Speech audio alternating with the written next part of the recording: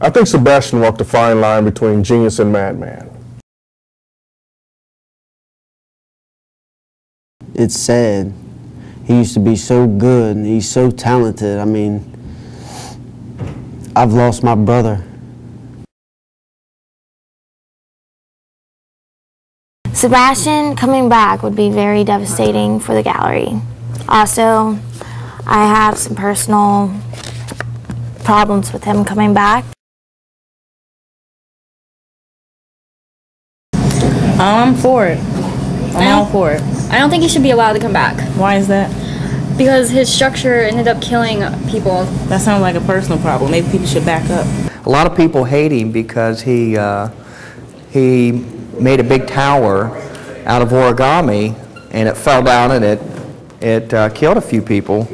But you know, people make mistakes, you know, and, and he's, as you could tell, a fantastic origami uh, performer. Um, I think we should let him in the tournament, I really do. He was crazy to try to build that thing. Only one guy's tried to build it before.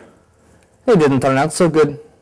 The whole world just felt like the sky was falling, man. It was just, everything just started falling down and people were running and screaming and it was just hectic.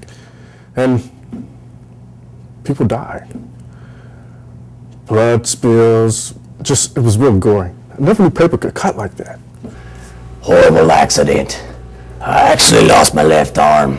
Somebody should crush him with a giant sheet of paper.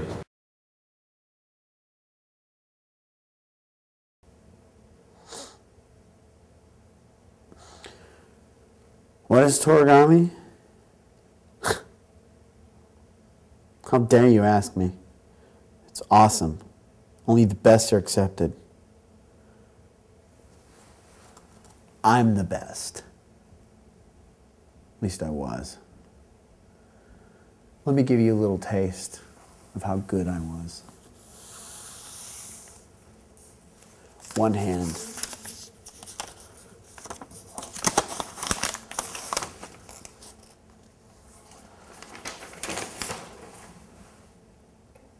See how good I am?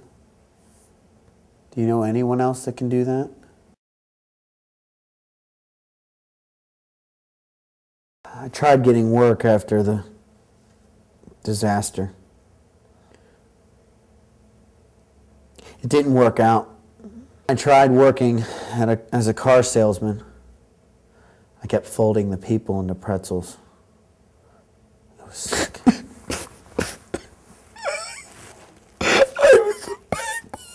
Sebastian has written several books on origami. Many of his work is displayed in museums all over the world. He has become a cultural icon. In 2005, he won the Tourigami Championship for folding a perfect sphere out of a piece of paper. What is the Fortress of Neptune? The Fortress of Neptune. The Fortress of Neptune. The Fortress of Neptune. I couldn't stop looking at it. It was so beautiful. I'd probably lose my right arm just to see it again. He almost had it. Almost. No one's been able to make it before because it's so big. So much paper is required. It destroyed my life. People died. I have their blood on my hands. He's done so much work. He's done all these. I mean, I've got work for days that he's done just for me. I mean, I remember Wally the Whale. All of this, this treasure. Look at that. Just look at the detail.